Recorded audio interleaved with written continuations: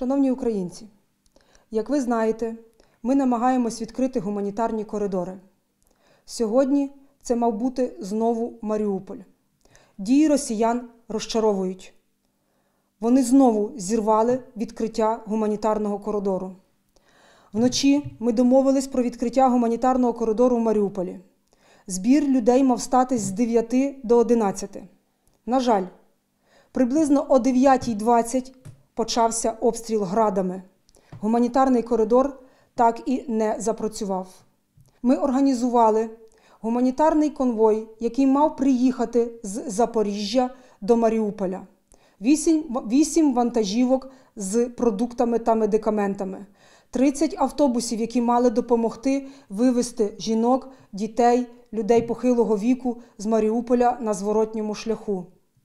Всього цього не сталося.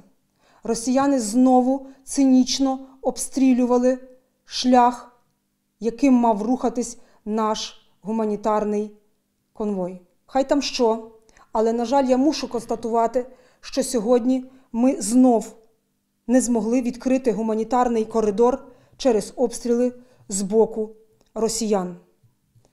Окремо хочу торкнутися проблеми іноземних студентів. Це сотні громадян з Індії, більше 700, Китаю, Туреччини, Пакистану, інших країн. Всього це більше двох тисяч громадян іноземних країн, які сьогодні страждають від голоду, холоду, обстрілів разом з українськими студентами, з українськими жінками, дітьми, людьми похилого віку від агресивної позиції Росії. В мене питання до посольств, до представників влади Туреччини, Китаю, Індії. Ми всю ніч з вами мали переписки щодо того, як врятувати, як евакуювати ваших громадян. Сьогодні відбулася розмова, до прикладу, пана Ердогана з Путіним. А чи знає пан Ердоган, що 70 його громадян сьогодні не змогли разом з сотнями і тисячами українців виїхати з Маріуполя? Вони там ховаються, плачуть, вони помирають від голоду, і вони разом з українцями не змогли отримати шанс вижити. Чи знають це ті, хто приймає рішення далі робити все, щоб Путін проявляв свою звірячість саме на цивільних? Весь світ має пояснити собі, що відбувається. Ми намагаємось допомогти китайським студентам. Я на постійному зв'язку з послом Китаю в Україні.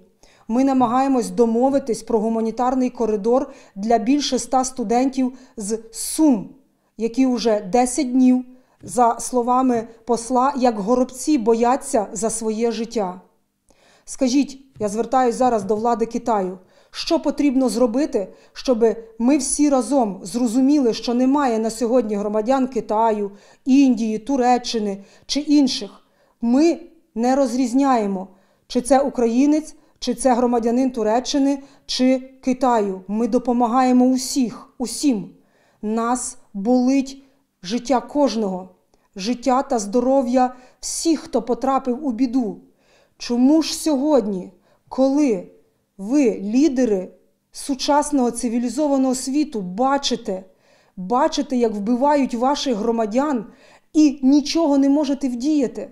Не можете об'єднатись, щоб вказати Путіну, що так не можна, вкотре намагаючись примирливо щось один одному пояснити. Поясніть це матерям тих студентів, які сьогодні чекають їх додому і не можуть зрозуміти, чому їхні держави, які вважають себе великими, сильними державами, не можуть їх врятувати.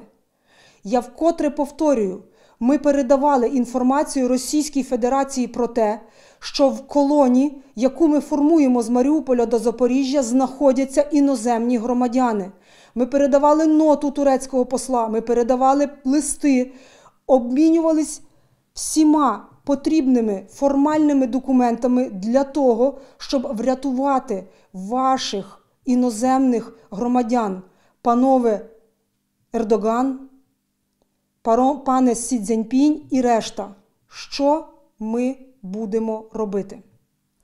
Ми будемо закликати весь цивілізований світ сказати чітке ні такій агресії Путіна, яка вбиває вас, шановні громадяни вільного світу.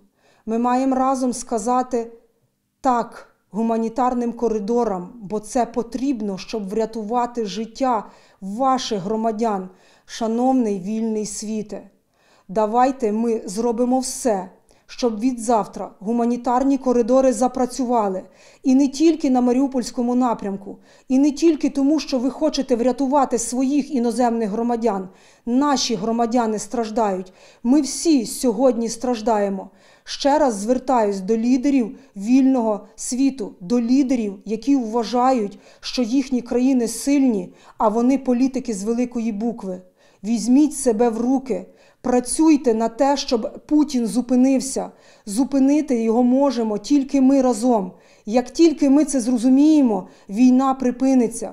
Ще раз і ще раз закликаю усіх. А ми, ми продовжуємо свою справу. Все буде Україна. Слава Україні!